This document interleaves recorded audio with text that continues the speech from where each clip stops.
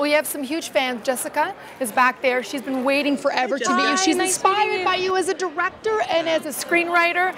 So, so you're really inspired, and she has a bit of a crush on you. So this question is from her. Okay. Uh, I understand that you know, uh, you know, to find female romance love interest, that you, you, one of the things for compatibility is a 1959 movie that Oh, they have to have seen. Uh-huh. Is that correct?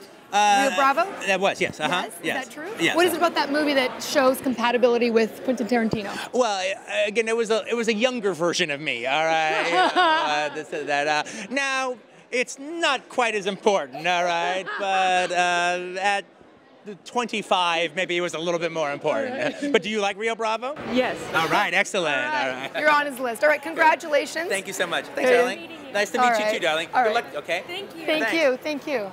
All right, check it out. Quentin Tarantino, writer director, right here on Out There.